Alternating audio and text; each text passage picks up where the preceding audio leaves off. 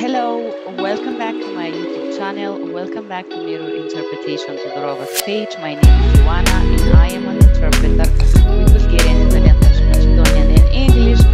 And today I am creating, I have a pleasure to create this beautiful video with uh, professionally with Jose. Today we're gonna talk about cultural awareness and what is appropriate Mr. Jose culture. Can you tell us where you're from, Jose? Uh, which country and and so just introduce yourself, please. Thank you very much, Joanna. Uh, my name is Jose. I'm from Costa Rica. And uh, Costa Rica is a Central American country uh, that is uh, located on uh, between um, what is the Central American belt and uh, between Nicaragua and Panama. I'm gonna put the map here, guys, just you know. I'm gonna put where is located his country on a map right here after when I did this video.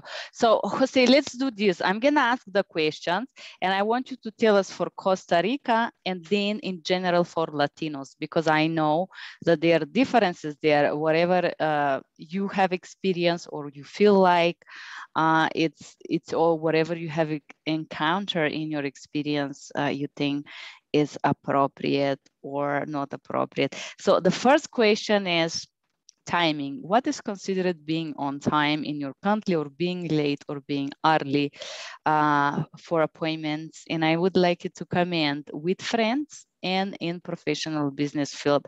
Of course, starting first with Costa Rica and then in general for Latinos.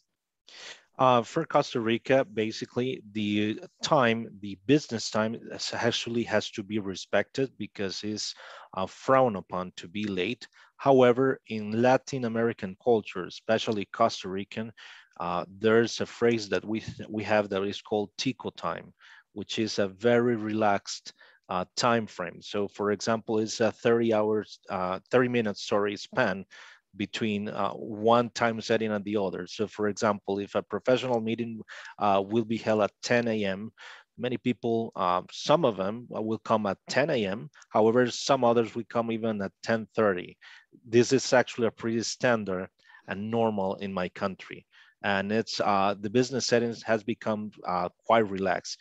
Some businesses, however, like uh, transnational companies, uh, do not uphold to this, and many people actually um, respect the um, European time frame, even the British time frame, very, very punctual. Punctuality right now is considered a must in most of a business setting. Uh, in regards to friends setting, actually uh, we keep uh, Tico time and uh, Latin American uh, chilling time. So it's a huge difference. And is there any difference between males and females? For example, if a male is late, let's say he's the boss, is it considered kind of okay? Or if a female is late, is that seen more badly in professional field? I can tell that definitely happens in my culture. Can you share about? Actually, on a friend setting, uh, is uh, that's not so. Actually, it's, it's, it's the same for men and women. Exactly the same. Tico time applies for all of them.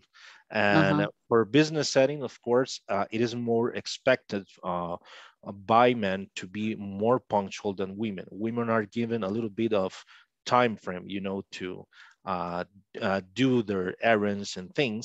However, uh, for males, it's actually more um, rigorous um, business setting in order to have a specific time frame for uh, meetings. Oh, because in my culture, if it's a appointment, the woman must be late. It's kind of obligatory thing. It's like if you feel like you're beautiful or you're valuable, you gotta make the guy to wait for you. You gotta make them like suffer for you in a way, waiting for you. In business setting, if a woman is late, it's not okay. It's bad. It's very bad. Yes, in, in my culture is uh, basically the same. Um, for business settings, uh, it's a standard for actually males and females to uh, be specifically on time, depending on the settings of each company. However, in some more uh, relaxed atmosphere for different companies, some people have the flexibility of using Costa Rican time or Latin time, which is not like uh, as punctual as you know as required. Mm -hmm. What about dress code? Is there specific things that are considered appropriate uh, or not appropriate? Um, talking about uh, skirts, uh, colors of a makeup, of a lipstick, uh, for example, beards, uh, sports shoes with professional top clothes, like a suit. Is that something you could see there? For example, in my country, for males, you could see people from the lower register that actually some of them do very successful businesses. They wear a suit and then they will wear a jogging shoes with Adidas white socks below, which is gonna make everybody laugh or they would smile in these meetings and just kind of smile at these businessmen that are more like in an agricultural environment or in a producing some kind of a stock or something. Uh, do you, can you say something about that? For females and males, of course? Uh, uh, that's a very interesting question in regards to dress code um, at, at, work. Costa Rican has adapted a lot from Nordic culture. So the uh, we care a lot for our appearance.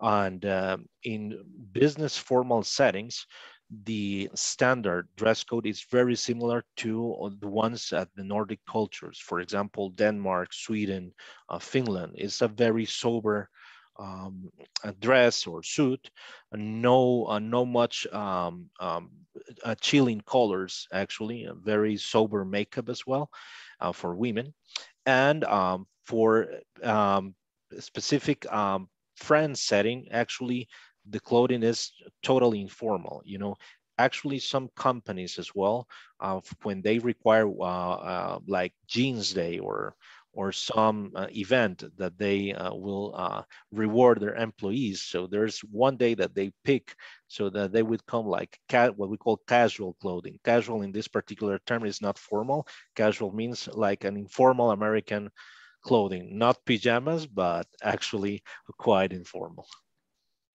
Yeah, we don't have these uh, days uh, in other cultures. I never seen it in other countries to to be able to do this but they're casual most of the time. But clearly in my country, if you go casual, you're probably gonna get fired. And it's not they're not gonna tell you that you're fired because you went casual in the office. But let's say you're a secretary of someone in a company and you don't wear this sexy pencil skirt on and you don't look professional, they gonna shame your boss for having you there basically. So when you have a certain positions in the office you gotta stick to a certain uh, certain like dress code and you make sure you look appetizing but not too sexy. Let's call it like this. You gotta look professional and you gotta show be some somehow seductive but not act seductive this is like basically what is expected from a person in this setting in Eastern Europe. As a matter of fact, in Costa Rican setting, as I told you, uh, the uh, dress code in regards to um, work setting is very similar to Nordic culture. So uh, at the time of uh, using a, um, a suit, actually men use a relaxed suit, but very formal, for example, blazer and a trouser, like uh, for professional setting. Not many people use ties or wear ties. Women actually are expected to use skirt and um, specific stockings for office, uh, very uh, formal, not uh, that uh, provocative and uh, especially in institutions that have to do with banking, finance, and uh, government setting, the uh, suit is the norm. Actually, it's extremely formal. Uh-huh. Let's let's talk a little bit about money, and it, it's something that is okay to consider talking in business field and with friends. And here I'm gonna share that when I was working in negotiation as an interpreter in a trade fair, business to business, international trade fair uh, in Milano, I noticed that during the trade fair, while I interpret for the negotiations, especially government to government, they never discuss anything related to money. Uh, I remember some of the businessmen, Americans, of course, they want to know the numbers and they try to ask during these meetings in a trade fair. And most of the managers refuse to give any answers regarding uh, money, regarding any uh, numbers there. And they address that to when the things move to the next level and they would do like offerings and stuff so can you tell us and also with friends uh, for example in my country is very normal uh, clearly when you talk about how much money you do or something like that a lot of people tend to say a little bigger number to look more successful or to impress others especially if it's in a smaller city um, share share your experience here Thank you. Uh, in regards to uh, money talk in my country, uh, actually it's a taboo topic. And actually on the, the time of the companies that hire people, we have a law in Costa Rica that companies are not able to disclose salary on job listings. That's a law that we have uh, because uh, money is a very taboo topic. And uh, unless the person is very close to one another, on an informal setting, they will talk about money and how much they earn. But generally, this type of uh, question is not addressed in my country uh, at the very beginning of a conversation or, or informal setting. So for example, unless you have a, some time acquainted with a person that and you know this person well, they will talk about money issues and how do they feel regarding uh, in regards to payment or how they will feel in regards to um, how the company is treating them financially speaking uh, they uh, will address that in secret but not openly.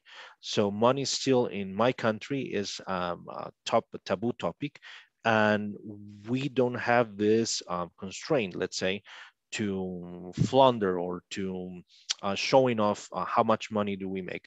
You can actually tell by the type of company a person work, works for how approximately this person is going to be earning.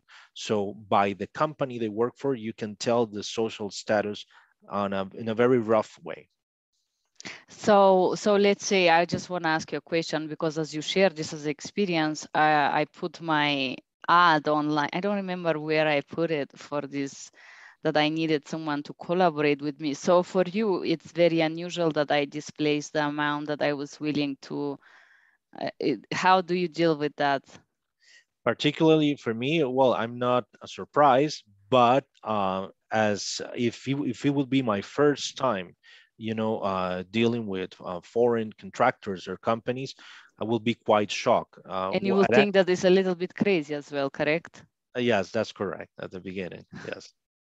so I want to ask you another question here related to money, because uh, when I said that the the people that will disclose that they are more successful or something, uh, normally I, I, was just wondering because you said it's such a taboo. A lot of ladies, um, Latinos ladies, are very how to say pity pity makers they say they're in hard situation. They ask i had a friend they asked him money for the private school for the children some huge amounts. He sell his car to send money to this lady and so on.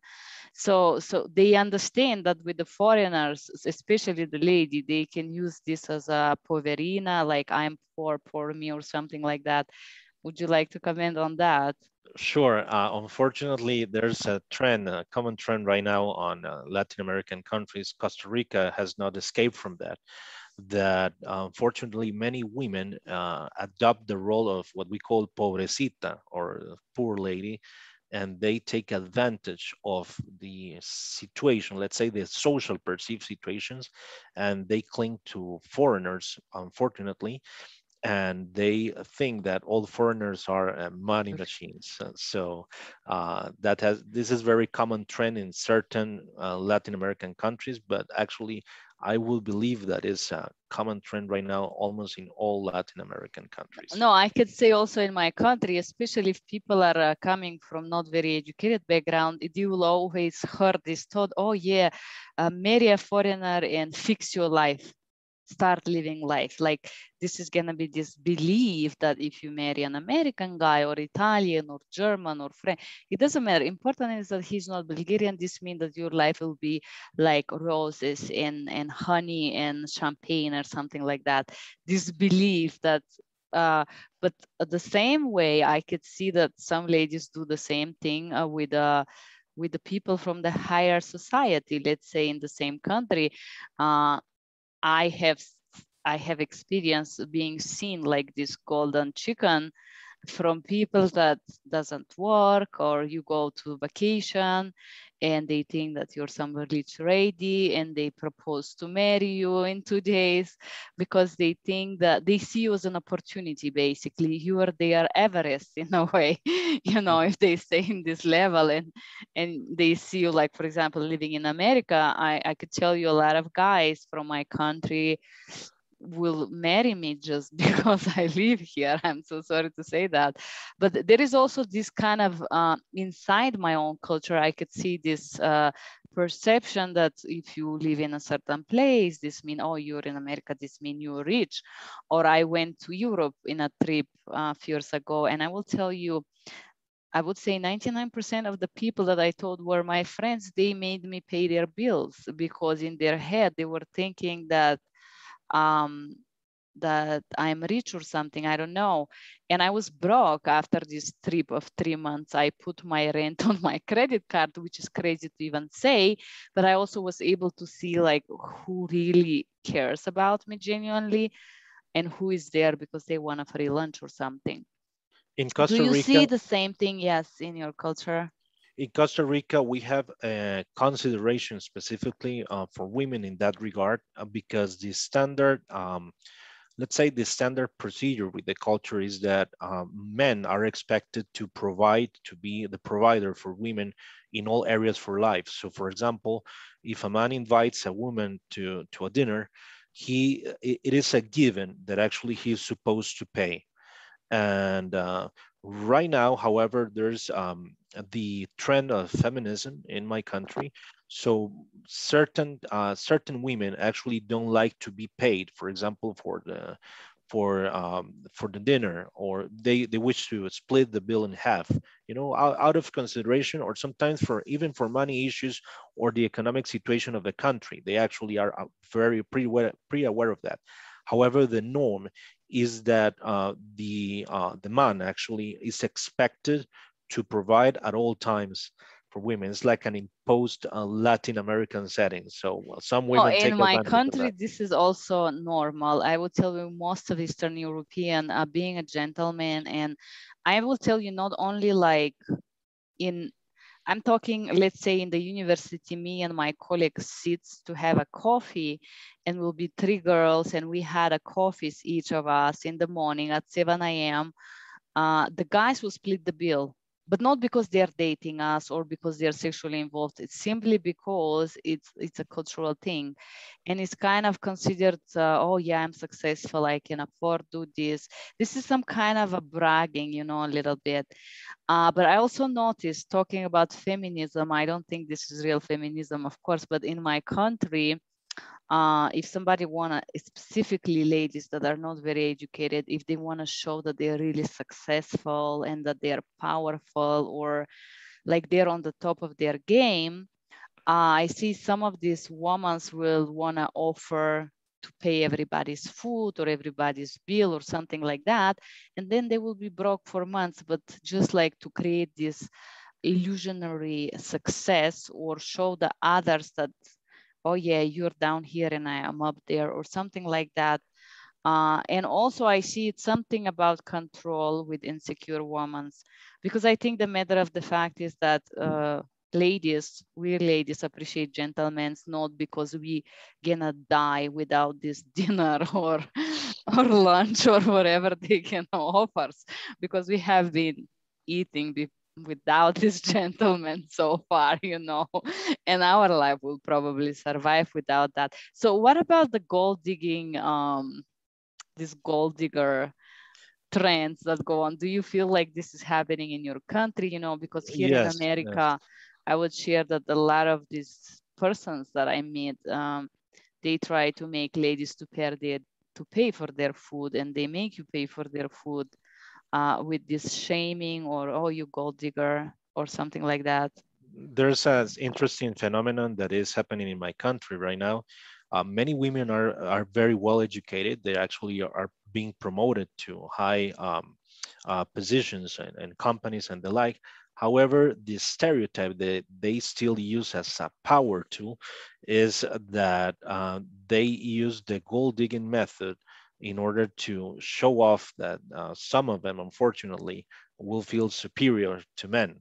So uh, specifically, they will brag as as the example you uh, you put um, about their status. However, they financially will be broke uh, for months inside, uh, but just to show that they are empowered, let's so quote unquote, and uh, basically. Um, they uh, use this strategy, you know, to gain status. Costa Rica, in Costa Rica, the formal status is um, quite important in regards to company positions. So the pobrecita mixed with the um, the power tool that they have of the MENA's provider, it's a platform for some women, you know, to create this scenario. Oh, wow, this is very interesting.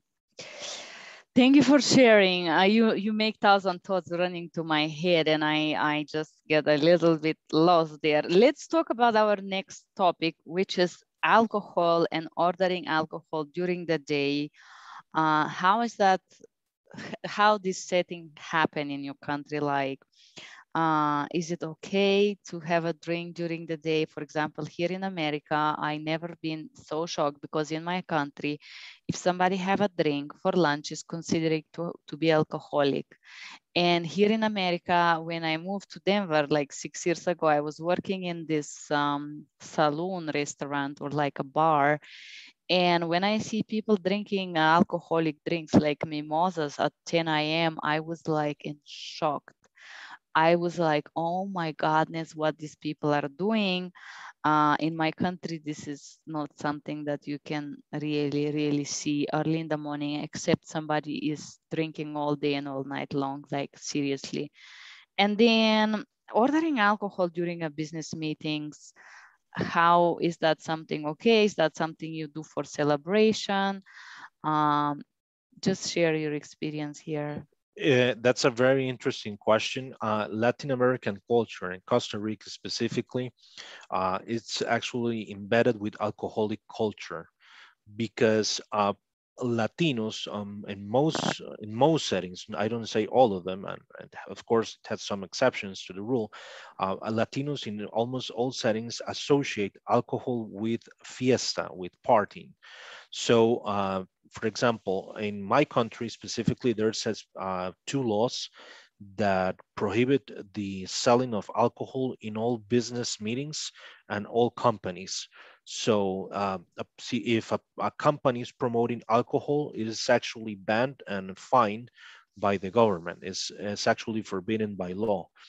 And of course, uh, uh, needless to say, on business meetings or things like that, if the meeting is extra official uh, in regards of business, for example, isn't in an in a outer setting, let's say in a restaurant or a let's say a convention center, alcohol is served uh, as a given. However, is not the norm in regards to the company itself. The company has forbidden to uh, provide alcohol or that any employee would actually consume alcohol in the company. So actually Costa Rica is very strict in that matter. In regards to the social setting, uh, informal setting, of course, uh, Costa Ricans can drink alcohol at any time during the day. We have these um, uh, facilities called pulperias, which is actually a, a mini mini market, like um, it's a copy of the uh, Middle Eastern mini market and uh, European mini market combined. And uh, people buy alcohol at all times uh, during the day. They can buy beers, they can buy wine, they can buy uh, rum or whichever alcoholic beverage they, they please. But of course, alcohol is uh, sold to only to people with qualified majority of age, which is above 18 below 18 is actually absolutely forbidden and if a person is actually uh, inducing a minor to consume alcohol is actually fine uh, even uh, processed to jail. In this, Can I uh, ask you a question here? So just talking about the alcohol and the cigarettes, I, I just will tell you that in my country, compare, for example, to America, uh, they they have advertisement of alcohol and and cigarettes in public places.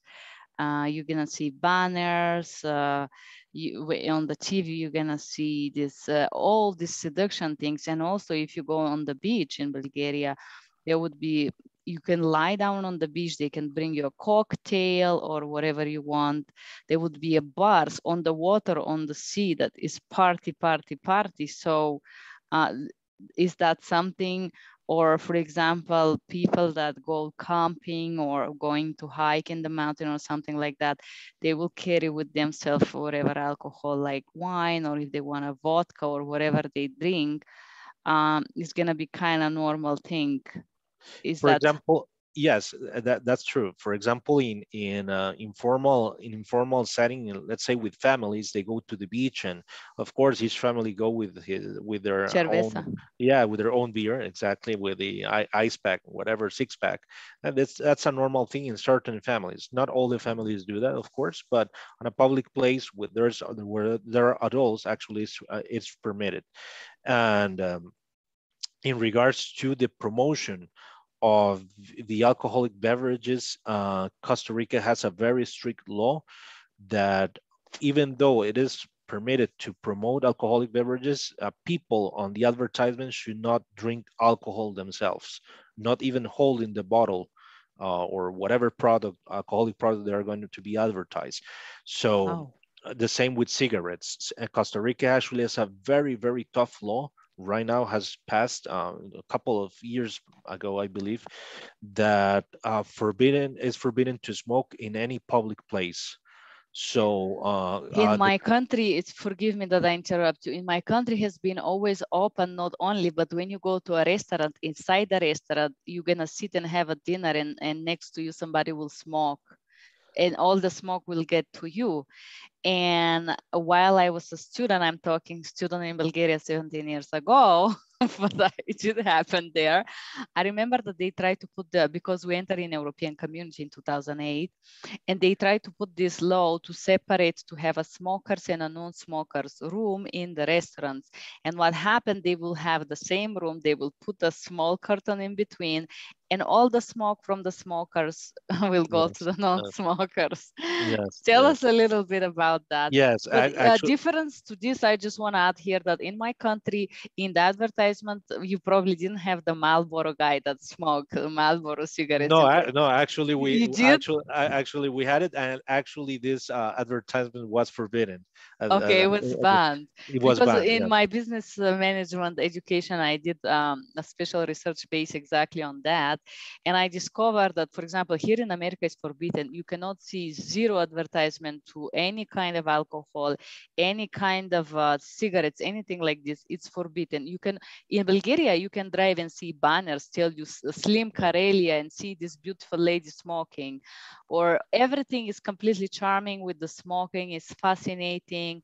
Like it's feminine. It's also like a symbol of feminism to smoke and and this has become like one of uh, desired woman role to be a woman that is dressed in particular way and she will have a cigarette and then this specific type of drink and also in the advertisement you could see the ladies drinking the alcohol smoking all of this it's is like little bit like a brainwash you and, and seduce you to go and, and try something like that. And that's why probably a lot of Europeans smoke. When I go to Europe, I will smoke too. When I travel, I will smoke too, you know. In Costa Rica, actually, it is very frowned upon and, and it's not seen good that a woman actually will smoke in public, needless to say, to drink in public. Uh, actually, it is uh, for Costa Ricans, it, it looks degrading in the cultural setting. Can so, I ask you a question here? Because in, in my country, if you go to the villages and you see a woman to smoke, she's considered prostitute, literally. It's like she, the whole worst thing they can do to her because if somebody see her smoke, oh she's not a mother she smoke. You know it's like in especially in a low register environment as you said culturally. But of course when you go to the bigger city this is one part of being a citizen and being of being in the step with the fashion being modern and all these things that come with the city lives of course uh, in Costa Rica specifically, the woman is not considered a prostitute, a woman who smokes. However, is not well seen uh, because of the uh, given that uh, that has to do with cultural setting, that the woman has like um, separate dignity. Let's say it is expected from men to smoke or to drink. You know, it's manly. Uh, yeah, it's manly thing. You know, being alcoholic is a man thing. But I, if if there's a woman that actually is alcoholic, is not well seen. Still, there's this stigma that is not well seen. And of course, the government has uh, done many, many things, not this government, but many previous governments in regards to banning alcohol or a consumption of cigarettes and alcohol, on, specifically on women. So that uh, the Latino mentality, let's say Costa Rica mentality specifically, will hold up to this uh, integrity for women, specifically to, to have them, uh, let's say, protected of all this uh, of, of, of these vices. We we call it vicios or it's vices. not yes, it's like sins. So it's not feminine. It's like not attractive. No man will want you if they exactly, see you smoke, exactly. basically. As, as, as, a matter of fact, in Costa Rica, if a lady would smoke, actually automatically is a no-brainer, no dater, you know, and uh, uh, breaking not, deal. Yes, a breaking deal, and actually will not be considered even for a date in Costa Rica okay so uh, it's like a, this type of stigma that uh, uh, Costa Ricans have. no, I think smoking is bad. Forgive me, guys, for smiling. Is I think smoking is bad. I'm not promoting smoking. I just think how funny is that uh, that we have such a such a difference in the culture, you know. Yes. And then we have, um, and the same thing with alcohol for ladies, correct? That's correct. Actually, what about not... champagne or wine? Is that considered bad? Uh, no, actually, wine or champagne is actually considered from high society or a, or a highest social status.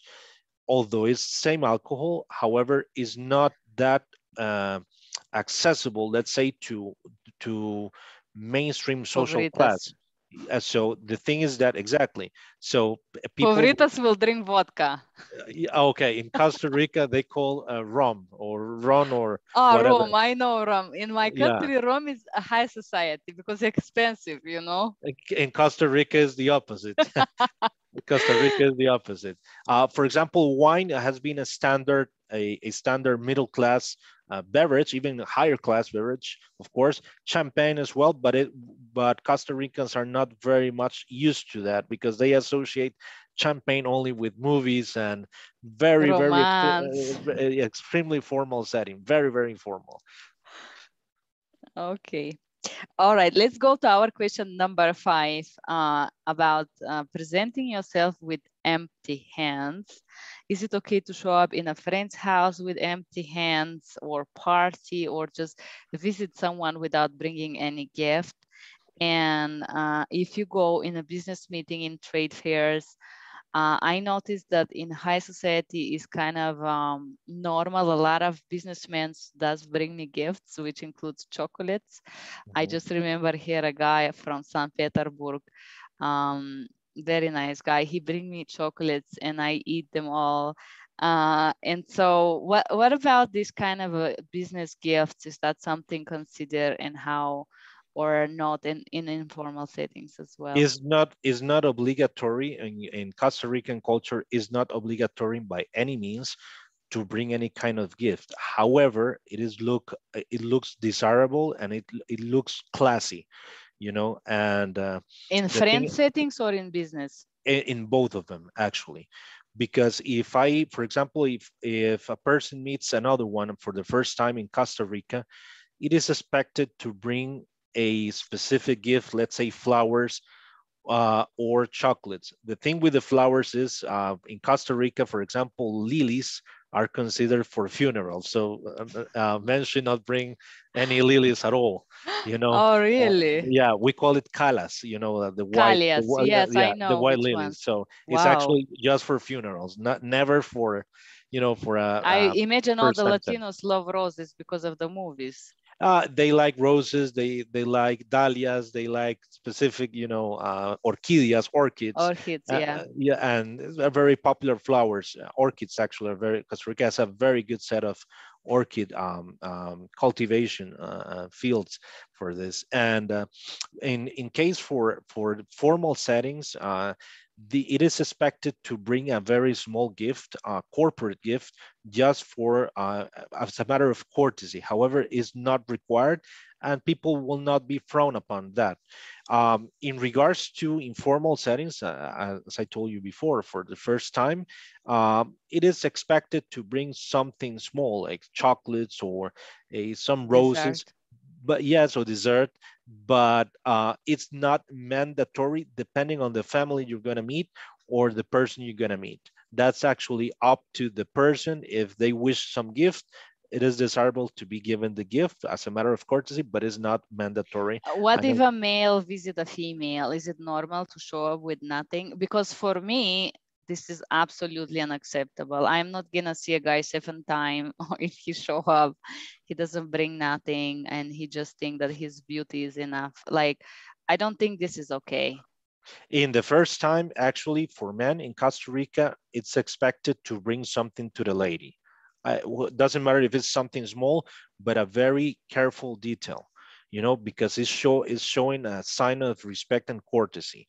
Some women, however, they don't expect that. Uh, they expect them to pay for the dinner, actually, or or even or to pay even more for for something else.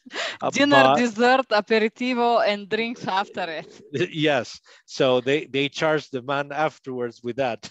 okay. But but as a matter of fact, um, it is considered very polite to, to and very courteous, actually very manly to bring a small gift that doesn't necessarily have something to be big, but uh, a very detailed gift for the lady. And it's actually a good sign of uh, manliness for mm-hmm. Costa Ricans. Like well well manners, it's expressed well manners, correct? What about yes. in in a dating life? I'm just curious when the guys um, meet ladies or in their is it normal the guys because you know you see a lot of these movies where the guys will give you these expensive bags or perfumes like in my country uh, especially in the lower register in the small villages a perfume is like very aristocratic gift and some people will find this very cheap Turkish waters, I will call them like this.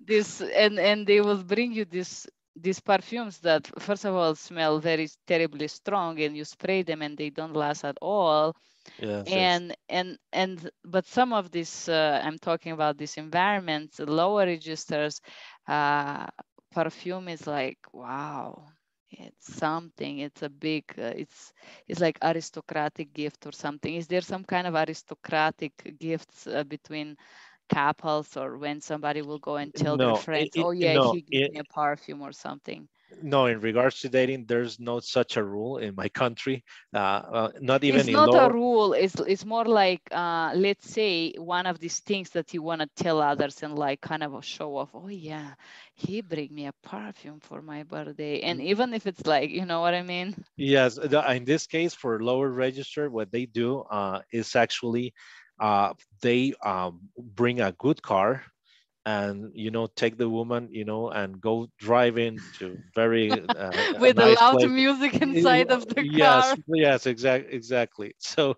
that's considered like a like a high show aristocratic show, show of high aristocratic things you know? And people invest some people in low register they invest a lot of money in cards, you know, uh, and modifying their cars and things like this. To put the uh, music high and all to that. To put the music high, to drive faster, to have such a, uh, let's say, um, such Me tires. Mercedes or something. What is the car? In my country, this is the same with BMW and Mercedes. And even the gypsies will buy these cars and they will put this special music called chalga uh, if you guys Bulgarian and watch me, there is this type of like little bit like in Latino culture. Uh, what is this dance called? Um, reggaeton.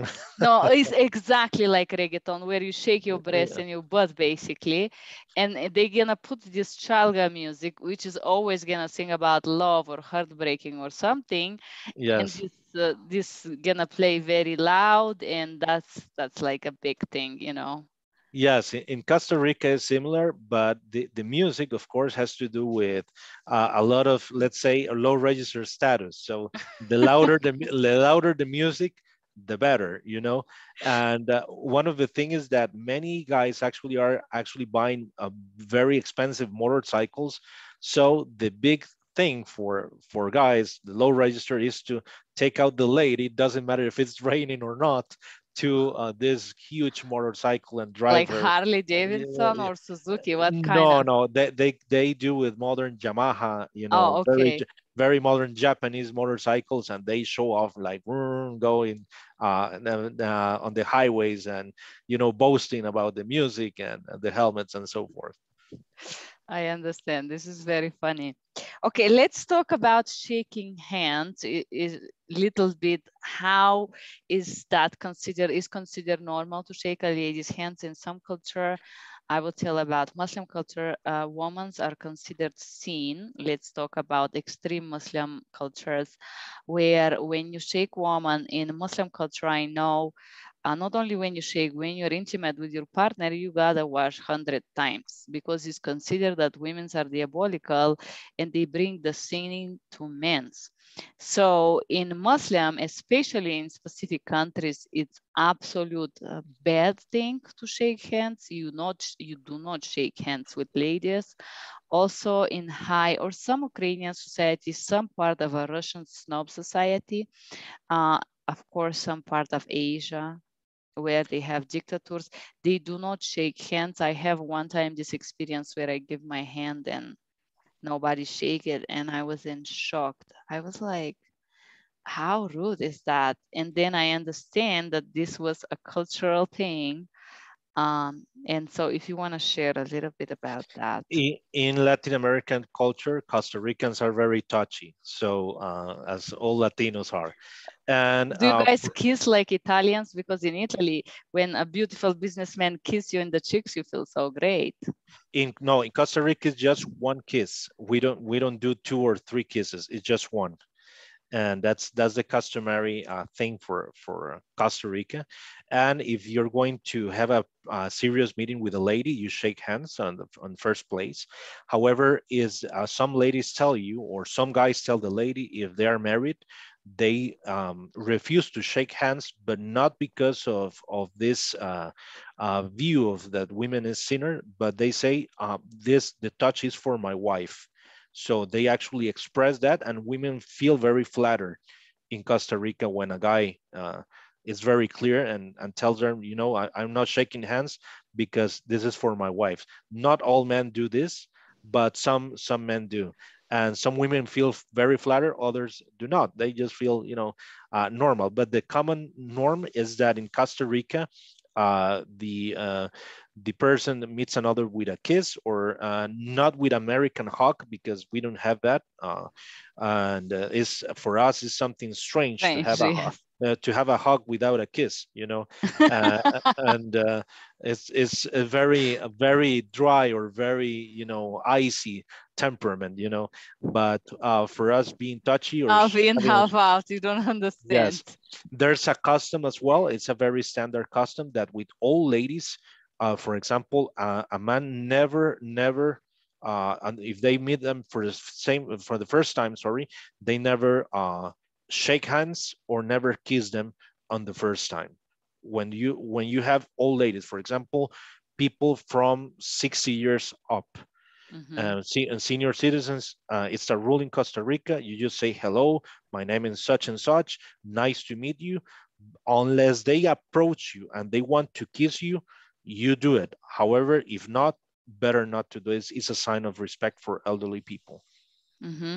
This also in interpreting setting, uh, I, I, guess this apply, correct? That's correct.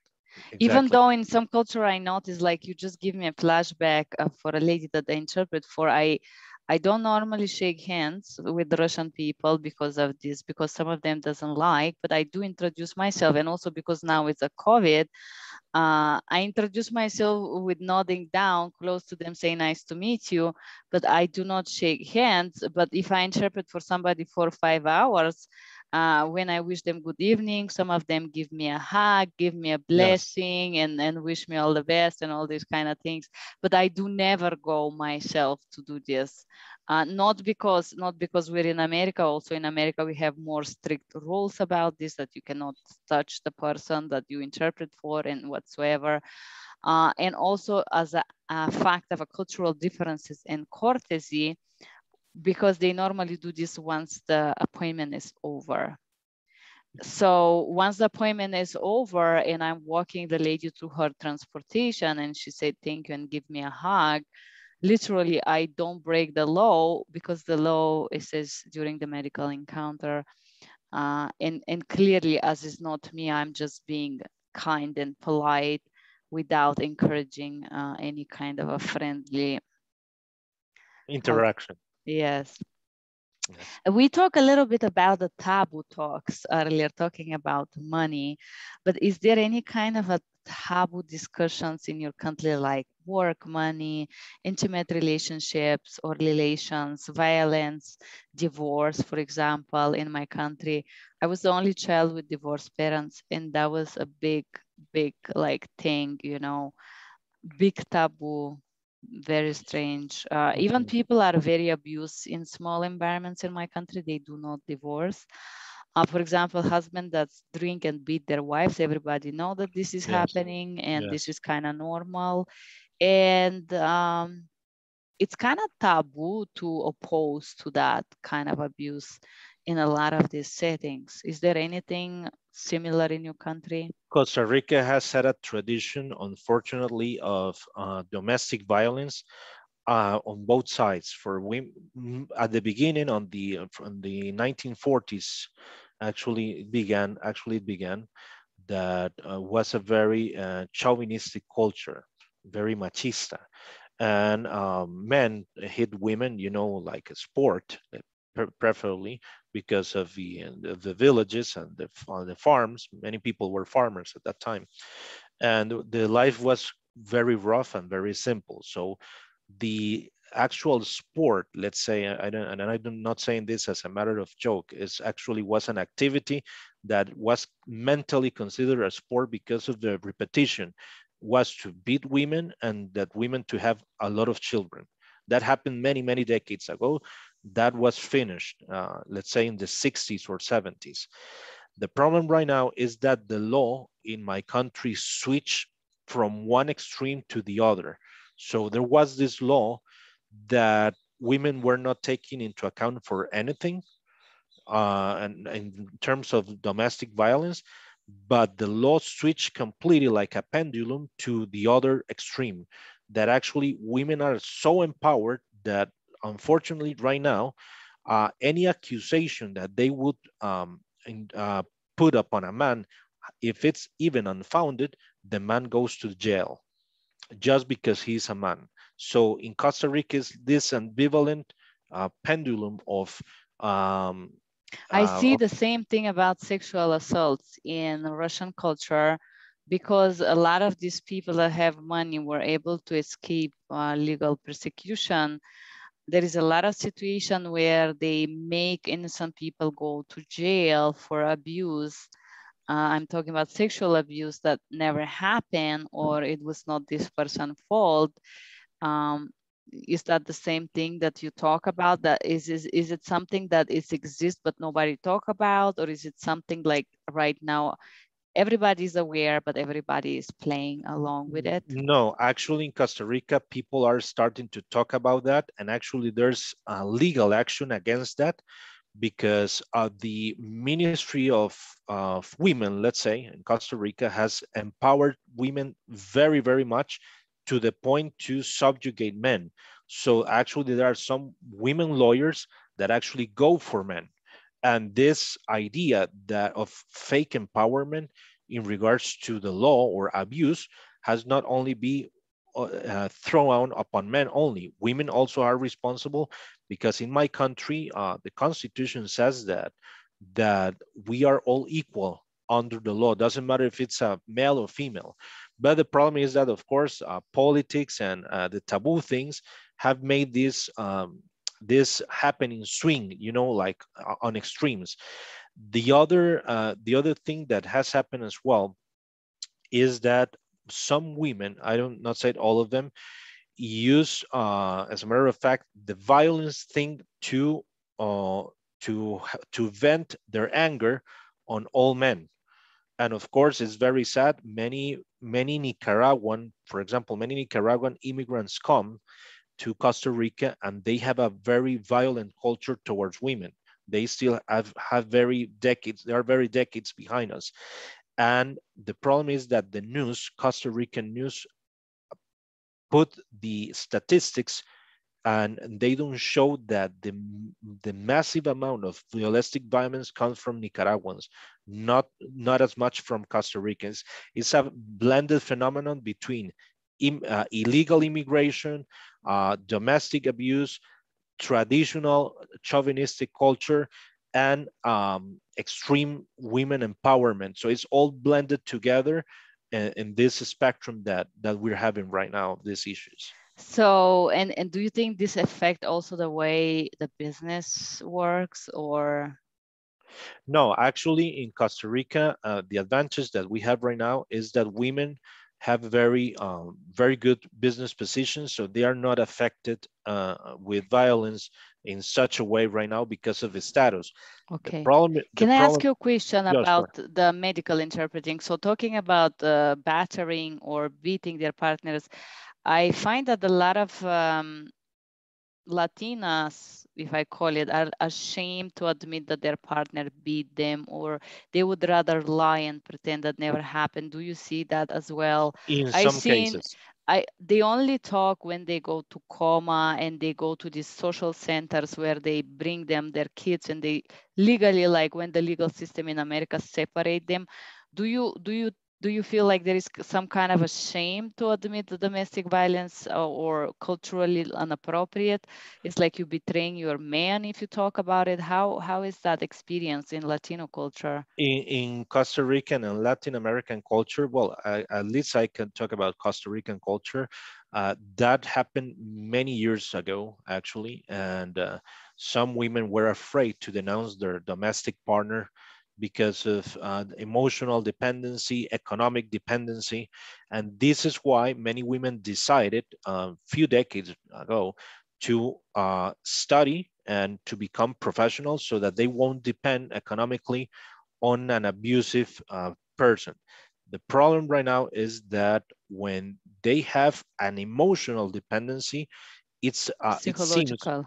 psychological. It seems that it's even more difficult than the economical one, because uh, because actually uh, the culture is in uh, it's increasing the the view that since the woman has to be the one that should be protected, uh, women think that still they feel vulnerable, although they have a very strong economical position, they have a very strong status, and they are very um, proficient academically.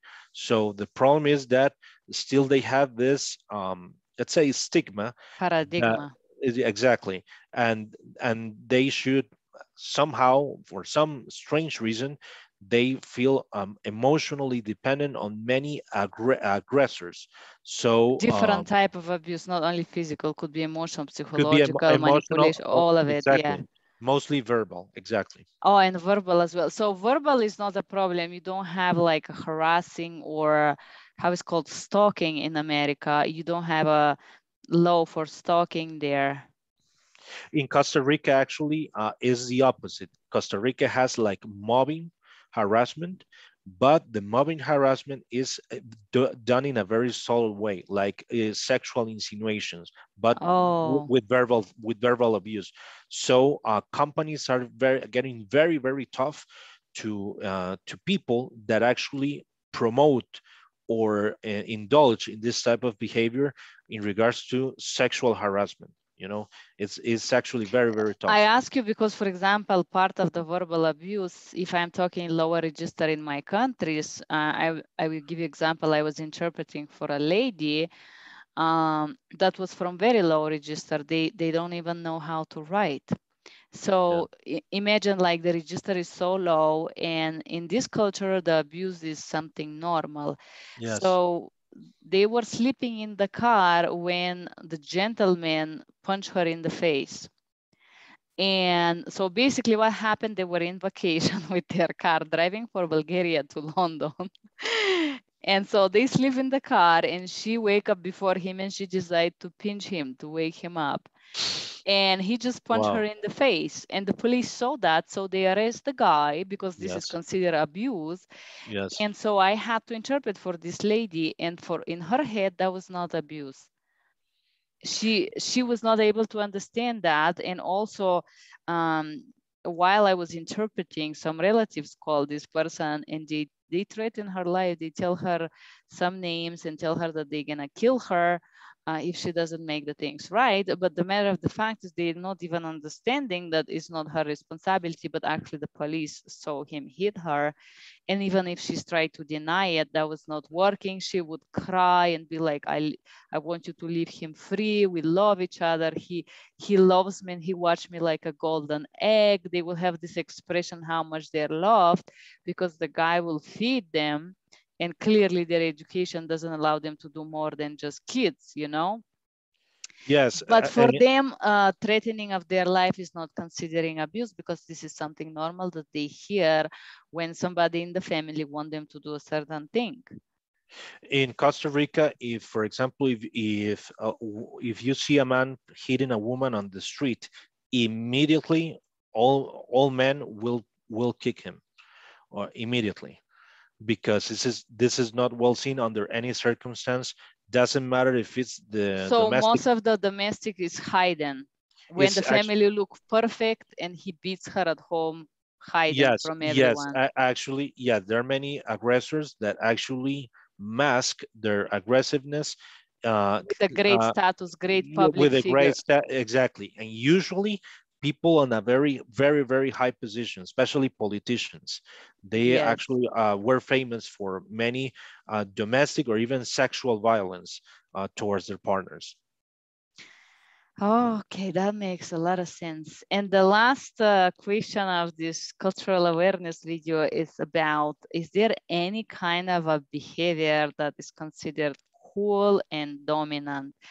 For example, some of these uh, UK meetings where you move the cup of tea, like taking the space on a table of your opponent or some kind of a gesture, like let's say when you shake hands to put it on the top and just show that you're the boss or on the top of the others, or wearing specific thing in a lower register, for example, Nike and Adidas in a very poor villages uh, you're gonna see people wearing this Nike and Adidas pants uh -huh. with the white strips and white socks, uh, something like this.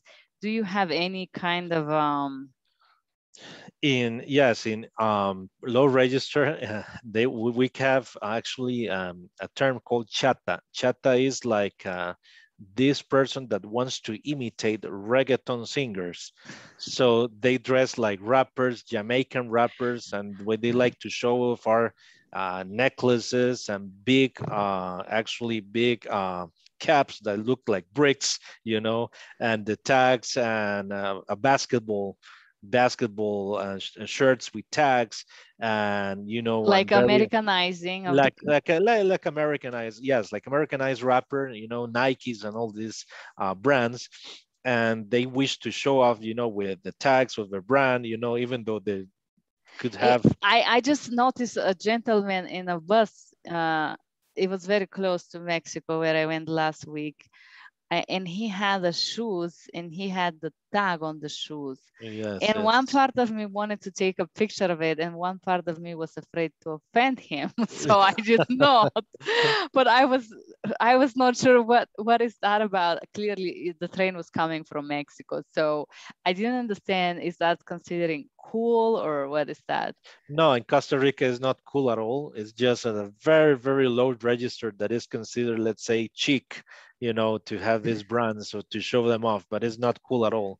And as I as as I told you before, the in, in the setting, the formal setting, uh, actually, the more sober the person dresses, the better, actually. So I just noticed something uh, talking about a man in power or people that have a real power. Uh, I noticed that the people that are really rich, really successful, and really powerful are very simple and, and they're very um, easy to communicate with. uh, they are like real aristocrats. It's they are very reachable. They can talk to you, the interpreter, in one manner, and then when they see that somebody is a lower register, they can drop the register yes. to that person. Yes. Uh, and instead of that, there is another type of gentlemen's or a man's in power that have a little bit of power, and they're um, not so educated, let's call it. They don't have a formal education, but they have probably big connections or something. And they will be extremely, I would say, aggressive and abusive and rude. They will, for example, really powerful men, when I was interpreting in business, they would always uh, have a great respect toward my job. Uh, even if the meeting goes longer, then they would make sure I get break. They would bring me something to drink or to eat. Um, they will have this formal New York elevator talk with me and make sure everything is good with me. Uh, and the other type of the powerful men that are doesn't come from education, they will have this extremely difficult um, time to to deal with. They will be rude, interrupt you, order you. Did you do this properly? Did you interpret correctly? They will be extremely unpleasant and difficult to, to deal with. Do you see uh, these two different types of a powerful, I don't want to even say only men because there are probably some ladies as well. Mm -hmm. In Costa Rica, uh, the uh, what I have seen is that uh, depend on the educational level but not educational as a, as a formal education of uh, a degree. Actually, the, the mannerism, the mannerism and the education that comes from the parents. So it is very well seen a person that is very educated are considerate towards others. So in Costa Rica, uh, the, the level of education is not measured by the degree, but is measured by the way you treat somebody else. So we call that buenas costumbres, good manners. So a person that has good manners is very well seen as a very successful individual, regardless of the economic status or um, uh, social status. So the Actually, people tend to help this person to succeed even that, more correctly. That, that, that's correct. That's correct. Still, Costa Rica has uh, has um, preserved this culture from our forefathers. And I will ask you one last question that is not included in this script, but I was just wondering, uh, in this process uh, for me looking for a Spanish interpreter, uh, I did communicate with uh, different peoples, a few ladies and few gentlemen. And I noticed that unfortunately, not only I would say I noticed this from the gentleman side, and I'm not sure why is that. Maybe some cultural something, and I was wondering if you can clarify. For me, in my culture, uh, when you're uh, um, interacting in a business way with someone, you're not trying to be familiar with them, unless the people are very low register and they call you sister or or you they they yes. bring you down but yes. let's say I, I am interpreting in Bulgaria or in Eastern Europe or something in Italy or in Barcelona whatsoever, uh, I would never try to get familiar with my bosses or or text them or chat with them, even though if I have their number, unless it's business related, unless it's emergency, I am not gonna send them good morning text and and before i start this project with you i was talking with this person who seemed very educated. And i noticed i noticed this thing is still continuing. This gentleman sends a lot of text a lot uh, he sends text for good morning good night how are you? I'm doing here i'm flying there i'm doing this hello my friend. Then also this person is married but i feel like he bombards me with this text also the other interpreter that I interview over over texting overload me while I was away. I, I requested him not to and and I have this difficulty uh, to understand is that something normal? Is that something that I have to train? Um, how, how would you command that?